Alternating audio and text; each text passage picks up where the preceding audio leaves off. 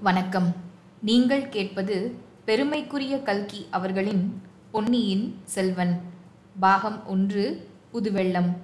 வாசிப்பது ரம்யா அருண். அத்தியாயம் இருபத்தி நான்கு காக்கையும் குயிலும்.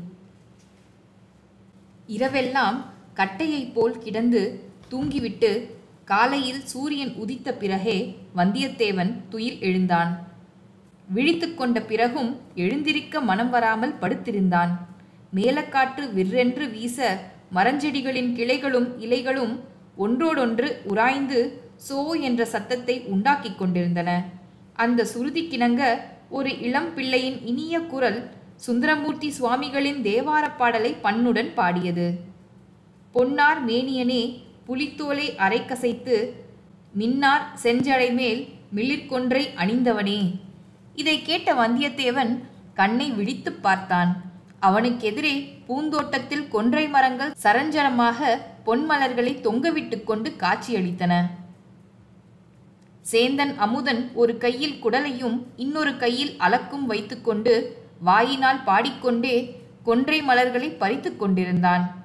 அதிகாலையிலே எழுந்து ஸ்நானம் செய்து திருநீறு புனைந்திருந்த சேந்தன் அமுதன் சிவபக்தனாகிய மார்க்கண்டனைப் போல் தோன்றினான்.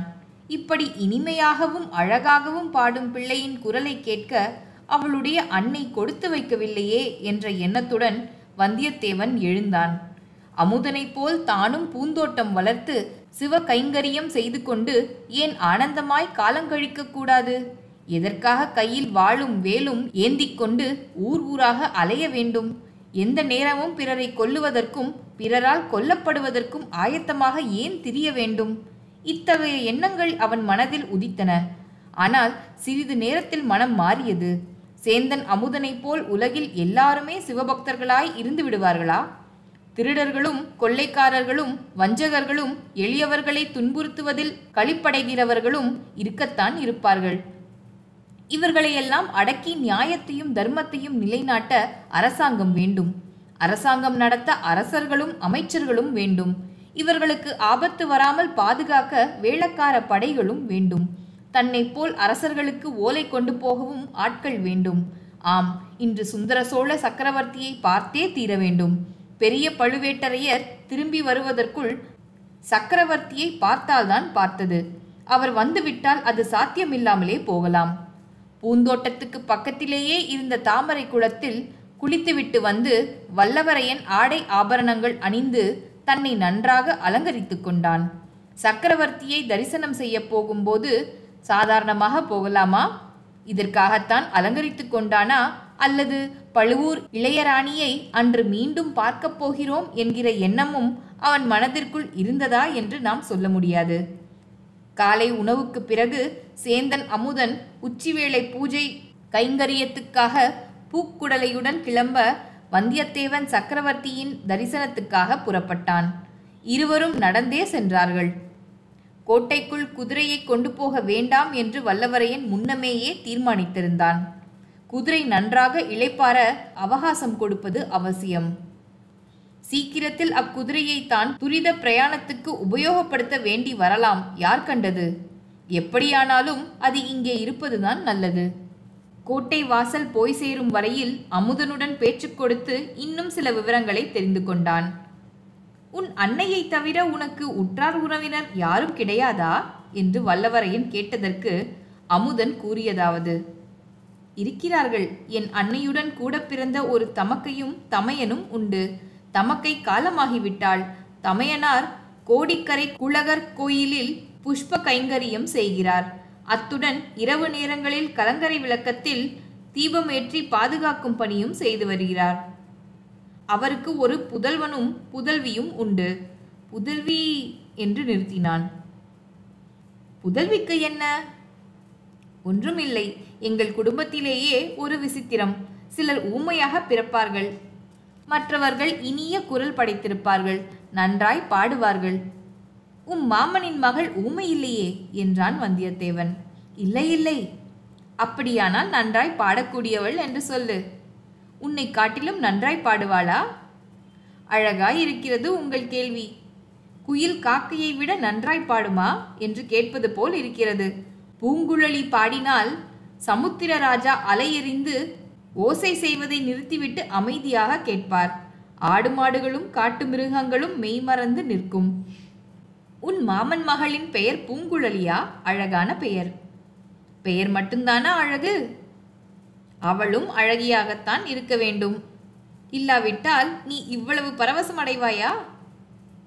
மானும் மயிலும் அவளிடம் அழகுக்கு பிச்சை கேட்க வேண்டும். ரதியும் இந்திராணியும் அவளைப் போல் அழகியாவதற்கு பல ஜன்மங்கள் தவம் செய்ய வேண்டும்.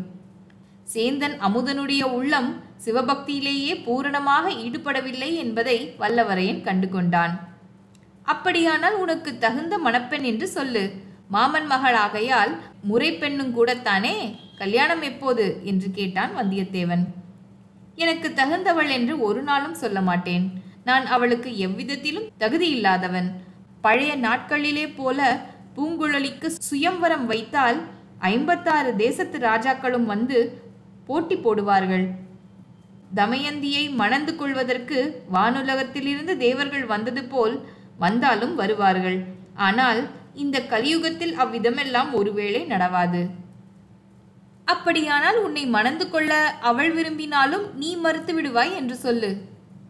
நன்றாய் இருக்கிறது இறைவன் என் முன்னால் தோன்றி நீ சுந்தரமூர்த்தியைப் போல் இந்த உடம்போடு கைலாசத்துக்கு வருகிறாயா? அல்லது பூலோகத்திலிருந்து பூங்குழலியுடன் வாழ்கிறாயா? என்று கேட்டால் பூங்குழலியுடன் வாழ்கிறேன் என்றுதான் சொல்வேன். ஆனால் நான் சொல்லி என்ன பயன்? ஏன் பயனில்லை? உனக்கு சம்மதமாய் இருக்கும்போது அநேகமாக கல்யாணமானது போலத்தானே? எல்லாரும் பெண்களை கேட்டுக்கொண்டு தானா கல்யாணம் செய்கிறார்கள். உதாரணத்துக்கு பெரிய பழுவேட்டரையர் அறுபத்தைந்து வயதுக்கு மேல் கல்யாணம் செய்து கொண்டிருக்கிறாரே. அந்த ராணியின் சம்மதத்தின் பேரிலா திருமணம் நடந்திருக்கும். அண்ணா அது பெரிய இடத்து சமாச்சாரம். நாம் ஏன் அதை பற்றி பேச வேண்டும்? முக்கியமாக உங்களுக்கு எச்சரிக்கை செய்கிறேன். நீங்கள் கோட்டைக்குள் போகிறீர்கள். கோட்டைக்குள் பழுவேட்டரையர்களை பற்றி எதுவும் பேச வேண்டாம். பேசினால் ஆபத்து வரும். ஏது தம்பி ஒரேடியாக பயமுறுத்துகிறாயே? உண்மையைத்தான் சொல்கிறேன்.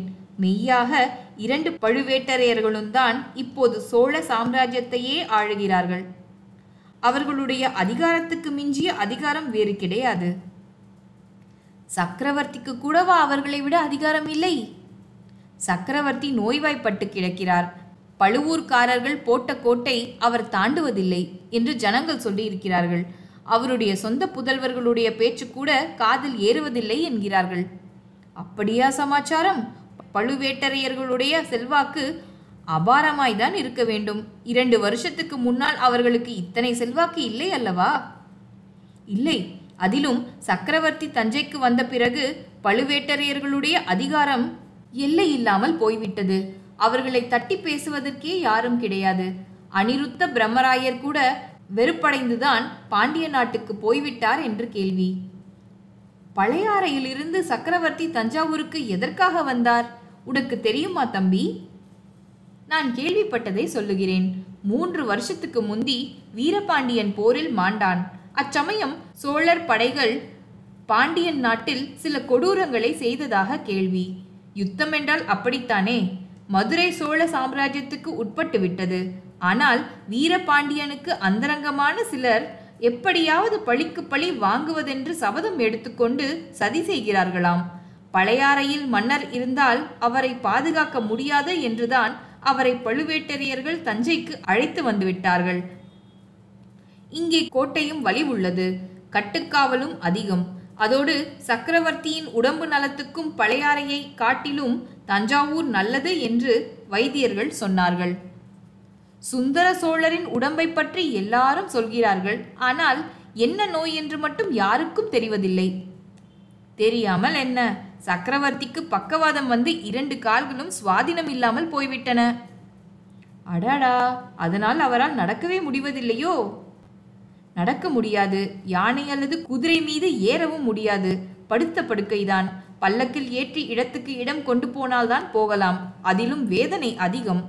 ஆகையால் சக்கரவர்த்தி அரண்மனையை விட்டு வெளிக்கிளம்புவதே இல்லை. சில காலமாக சித்- சித்தம் அவ்வளவு சுவாதீனத்தில் இல்லை என்றும் சொல்கிறார்கள். ஆஹா என்ன பரிதாபம்? பரிதாபம் என்று கூட சொல்லக்கூடாது அண்ணா. அதுவும் ராஜ நிந்தனை என்று சொல்லி பழுவேட்டரையர்கள் தண்டனை விதிப்பார்கள். பழுவேட்டரையர் பழுவேட்டரையர் எங்கே யாரிடம் பேசினாலும் பழுவேட்டரையர்களை பற்றியே பேச்சு. அவர்கள் எவ்வளவு பராக்கிரமசாலிகளாய் இருந்தால்தான் என்ன? தனப்பொக்கிஷம் தானிய களஞ்சியம் தஞ்சை நகர் காவல் ஒற்றற்படை எல்லாம் அவர்களுடைய வசத்தில் இருக்கும்படி சக்கரவர்த்தி விட்டிருக்கக்கூடாது. இவ்வளவு அதிகாரத்தையும் அவர்களிடம் விட்டதனால் அல்லவா சக்கரவர்த்திக்கு விரோதமாக சதி செய்ய தொடங்கிவிட்டார்கள்? இவர்களுடைய சதி எவ்வளவு தூரம் பலிக்குமோ அது பலிக்காமல் போக நம்மால் இயன்ற பிரயத்தனம் செய்ய வேண்டும். சந்தர்ப்பம் கிடைத்தால் சக்கரவர்த்திக்கும் எச்சரிக்கை செய்து வைக்க வேண்டும். இதற்குள் கோட்டை வாசல் வந்துவிட்டது. சேந்தன் அமுதன் தனது புதிய நண்பனை பிரிந்து தளிக்குளத்தார் ஆலயத்தை நோக்கி சென்றான். வந்தியத்தேவனோ எத்தனையோ மணக்கோட்டைகளுடன் அந்த கோட்டை வாசலை நெருங்கினான். இத்துடன் இந்த அத்தியாயம் முடிவடைகின்றது. இந்த ஆடியோ புக் உங்களுக்கு பிடித்திருந்தால் லைக் கமெண்ட் அண்ட் ஷேர் செய்யவும். தொடர்ந்து எங்களது ஆடியோ புக்ஸை கேட்பதற்கு சேனலை சப்ஸ்கிரைப் செய்யவும். அடுத்த அத்தியாயம் இருபத்தி ஐந்து கோட்டைக்குள்ளே. அடுத்த அத்தியாயத்தில் இணைவோம். விடைபெறுவது ரம்யா அருண். நன்றி.